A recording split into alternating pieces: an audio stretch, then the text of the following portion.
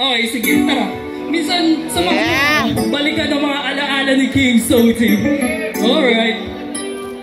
Okay, kung bakit daw ako binabayaran sa stage. Ganito lang ako mag-perform. Pasensya na. Happy birthday sa kalbo. Kalbong may upa. Maiba taya doon yata nagsimula Hindi ko lang alam baka sa maraya-taya Basta biglang humanga at sa'yo'y nahihiya.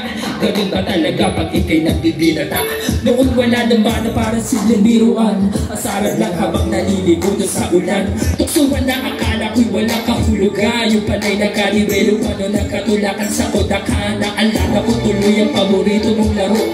10-20 Jackstone at Pico. Moro-moro tumbang preso pati pero shadow At tagong-taguman ng pag-ibig na gamuhan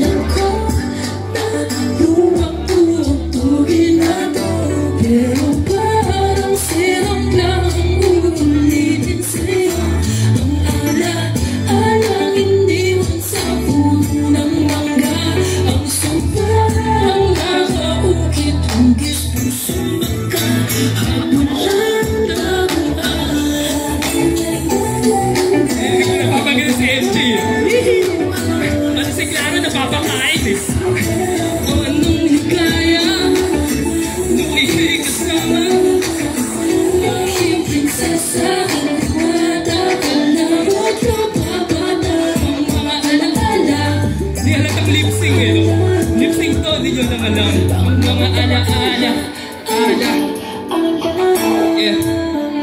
Noon hindi naman uso ang internet app, online games at Korean get up Uso noon, sungka at tong it's comics Sa magiling gitara ang harana sa song hits Kasete, karaoke lang ang kopya Marami ng pirata nung dekada 90 Sino first love mo? Sino first kiss? Tanda mo pa ba sa iyong slam book list? Naalala mo pa ba doon sa puno ng mga mga ikukit mo Marka pangalan natin dalawa ang ala-alang iniwan sa isa't isa Bago kayong mag-migrate sa Amerika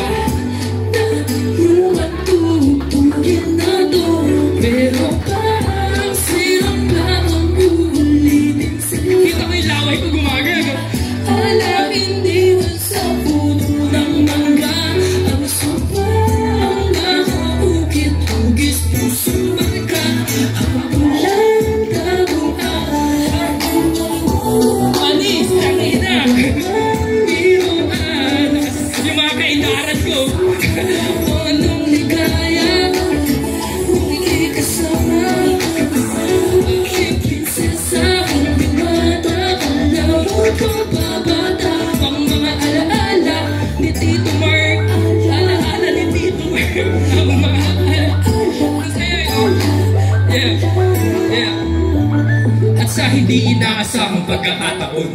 Matapos dumaan ng labing limang taon Tayo'y pinagtagpo ng mapabagong panahon Ang pagkikisa na kasing tamis ng tubleron Parang nanumbalik ang mga nakaraan Na makita ko sa Facebook, Twitter at sa Instagram.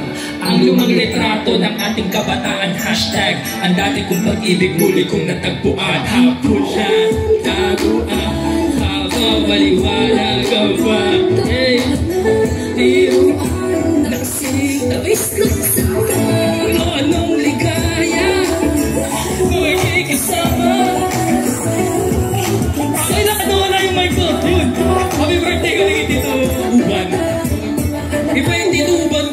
Mark ah.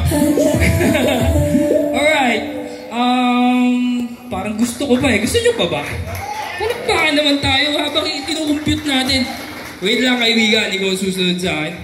Pero ayun, yung sinulat ko kasi yun dahil, ano eh, ah, nagpapak kami ng kababata ako. Kasama namin si Melo nun eh. Kasi ayaw ni Melo. oh. Sabi, pre, gago. Si ano, si Jennifer. si Jennifer, gago, crush ka. Gago, hindi nga.